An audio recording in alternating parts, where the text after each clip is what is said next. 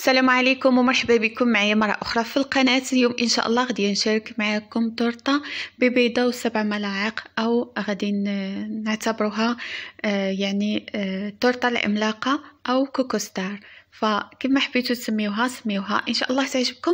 وتجربوها. بالنسبة لمكونات الكيك فهي سهلة ومبسطة. عندنا نص كأس من زيت الكأس كيقيس 200 ملي يعني عندنا هنا 100 ملي. نص كأس من السكر نص كأس من الحليب ست ملاعق كبيرة. مملوءة شوية من دقيق بيضة. عندي آه فانيلا وعندي آه ملعقة من آه الكاكاو المر نوع جيد. غادي نكملو به سبع ملاعق بينه وبين دقيق. وعندي كيس خميرة حلويات اللي يكون عشرة غرام تقريبا أو كيس ونص نتاع ثمانية وعندي ملعقة من الخل. دائما البيض يكون الحجم تاعو كبير ويكون بدرجة حرارة المطبخ نوضعوه في الخلاط أو في مولينكس ورشة من الملح. عندنا الفانيلا ضروري نديرو نوع ممتاز. عندي نص كأس من السكر فقط نص كأس من الزيت. الحليب دائما أخواتي أنا كندفيه. فغادي نديرو كذلك نص الكأس أو الكأس اللي كيقيس 200 ملي يعني 100 ملي نطربوا هاد المكونات مزيان. هنا فين كيكون السر نتاعنا نتاع الكيك بصفة عامة كنطربوا واحد المدة نتاع دقيقة أو أكثر.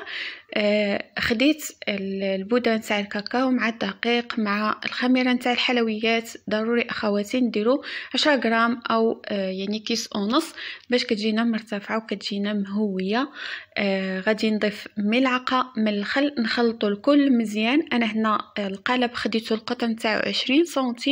اللي دهنتو بالزبدة ورشيته بالدقيق. سبق لي وشاركت معكم هذا الكيك هذا. فهنا هاد المقاطع أنا مازال محتفظة بهم باش نشارك معكم كيكات من هذا النوع هذا.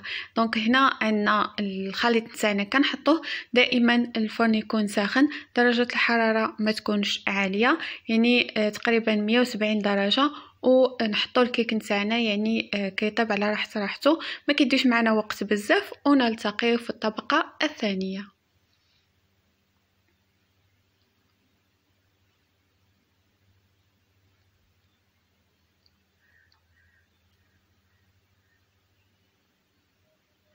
بالنسبة للطبقة الثانية بالنسبة لي هنا أنا خديت آه، مية غرام تاع البودغ شونتي آه، سيدات اللي ممكن أنهم آه، يعني تكون مكلفة هاد الأكياس فممكن تاخدوها بالوزن. يعني كتباع بالوزن كتكون أرخص. هنا 200 ملي من الحليب و2 كأس من نفس الكأس اللي قيسنا به الحليب من الكوك اولا جوز الهند. بالنسبة لي هنا آه، الحليب كنت واضعه في المجمد باش أنه يجمد اولا يقبط معنا مزيان. عندي هنايا البودرة نتاع شونتي. 100 غرام. أنا عندي هاد ثلاثة الأكياس فايتين المية بشوية. فخليتهم. غادي نطربوا مزيان مزيان مزيان.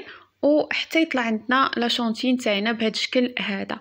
خليوها شوية خفيفة يعني ما نقصحوهاش بزاف لكن ماشي خفيفة خفيفة بزاف. غادي نشوفوها معايا. يعني كتكون دايرة داك المنقار هكا خفيف.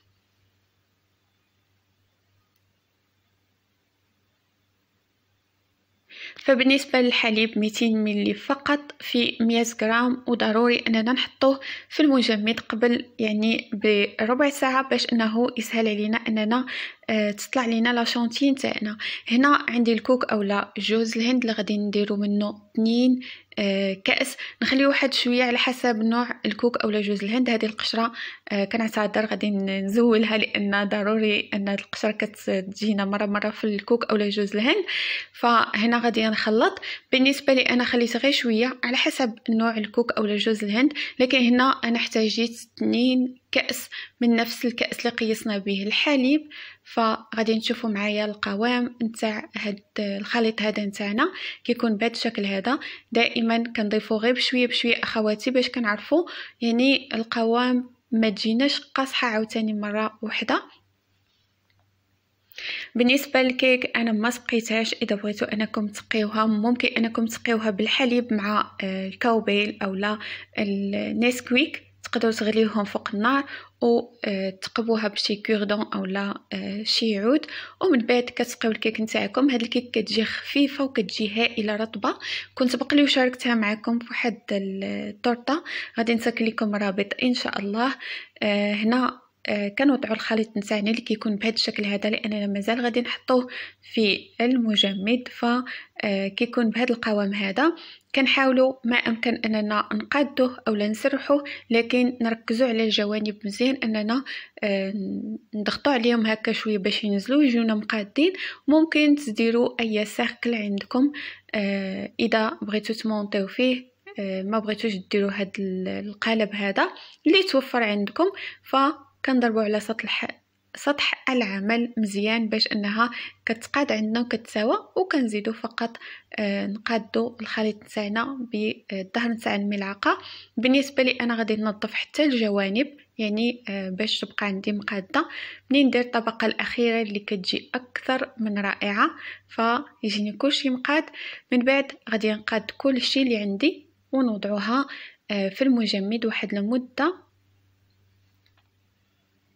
حتى كتقبط معانا وضروري إنها تكون متماسكة مزيان. أنا خليتها تقريبا شي ثلاثة ساعات باش كتقبط و آه، منين كنديموليوها آه، كتكون قابطة معانا مزيان. فنظف الجوانب ونلتقي في الطبقة الأخيرة.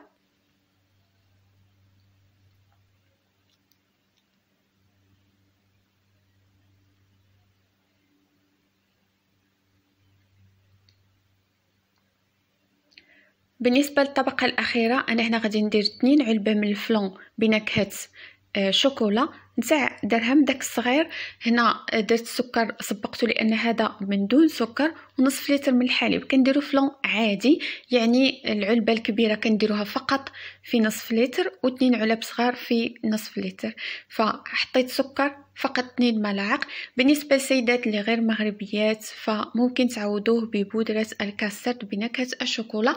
الكمية يعني القياسات اللي عندكم في العلبة مع نصف لتر من الحليب. هنا من بعد ما غلى عندي الخليط فوق النار كنخرجوه وكنضيفو ست حبات من شوكولاتة ضفت هنا قاله باش كيزيد يعزز لي داك الطعم ويقويه هنا في آه، الكأس نتاع المولينكس درت ست حبات من البسكوي تقدروا اخواتي أنكم ديروا آه، هينريس صغير يعني أو آه، أي بسكويت عندكم ست قطع. ف ضربتهم في الخلاط ومن بعد صفيت هذا الخليط اللي عندي هنا. فهنا ضروري أخواتي واحد المسألة أننا كنحركوه مزيان مزيان مزيان ملي كنصفيه باش ما كتبقاش لينا ديك الرغوه ملي كنطحنوه. بالنسبة لي أنا بقيت كنحركو كيف ما شفتوا معايا وكنزلو به مباشرة على الخليط الأول اللي هو نتاع الجوز الهند باش ما كيتكتلش عندنا هذا الخليط لأن إذا خليناه فكيباس اولا كيعقاد عندنا. ونحاولوا أننا ننزلوا به بسرعة حتى الجوانب ما نساوهمش بقاو عندي بعض الفراغات من الجوانب فغادي نردوه مازال للمجمد واحد شوية أو الثلاجه حتى كيقبض. من بعد في التزيين زينت فقط بالكوك اولا جوز الهند باش نعرفوا أن هاد الكيك نتاعنا اولا التورته نتاعنا بالكوك. فهنا غادي نقطع معكم قطعة كتجي مرتفعة كيف ما ذكرت أن القطر 20 سنتيم إذا درتوه في القطر اللي هو 28 فما غاديش يجيكم هذا الارتفاع فقط للتوضيح. آه، ممكن بعض السيدات أنهم يجربوها وما تجيهمش مرتفعة ويخليو لي تعليق أنها ما جاتش بنفس الارتفاع. القوالب يعني كيختلفوا في المقاسات أو لا القطر نتاعهم هنا هذا هو الشكل نتاعها ف آه، عن قرب. فكيف ما شفتوا معايا الكيك بيضة وحدة كتجي رائعة. وبالنسبة لي آه، فاش حطيتها في في الصحن و آه، يعني كنت غادي نقطعها بال fourchette ما بانش عندي داك التصوير يعني ما ما تضغطش لي على الكاميرا كنعتذر. مهم الشكل تاعها كيجي رائع وكذلك حتى المذاق. إن شاء الله تجربوها وتنال رضاكم واستحسانكم. إلى اللقاء.